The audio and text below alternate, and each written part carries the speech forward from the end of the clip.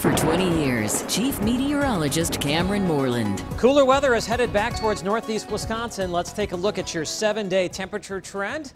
You can expect highs mainly in the lower 70s tomorrow. The normal high is 79. We will kick off July on a relatively cool note as well.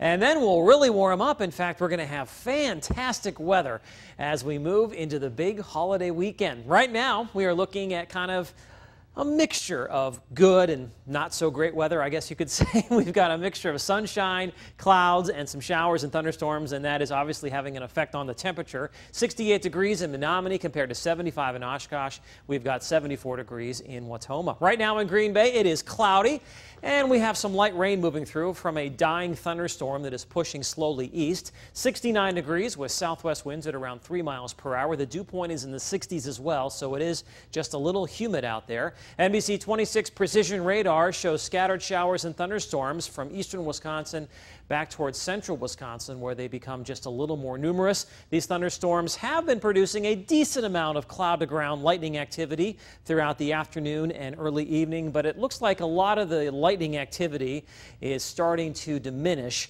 as some of the uh, heavier showers and thunderstorms start to fall apart just a bit. Now earlier today we actually had a couple of severe thunderstorm warnings across the state. One was in Waushara County where there was the threat for some hail and some damaging winds.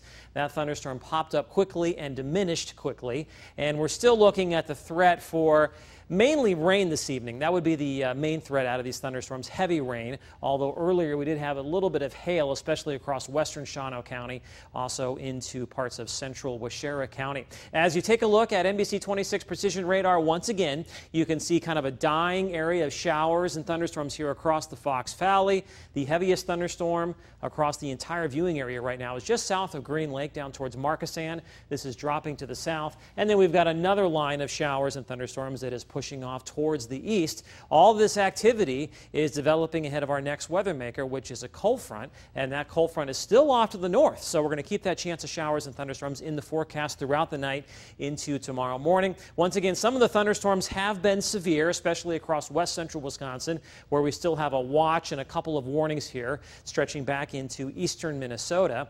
You can see the cold front approaching from the north this evening. That cold front will move through the area later on tonight into tomorrow tomorrow morning, and then behind it, some cooler weather. Today, highs close to 80 for the third straight day.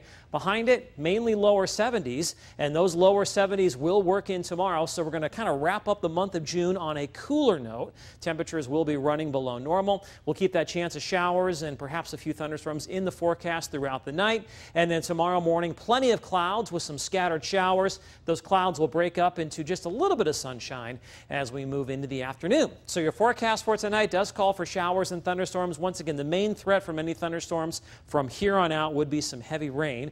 Overnight lows right around 60. Tomorrow, clouds and showers early, then perhaps a little bit of sunshine. More sunshine north, more clouds south. It's going to be breezy and cooler with highs right around 72.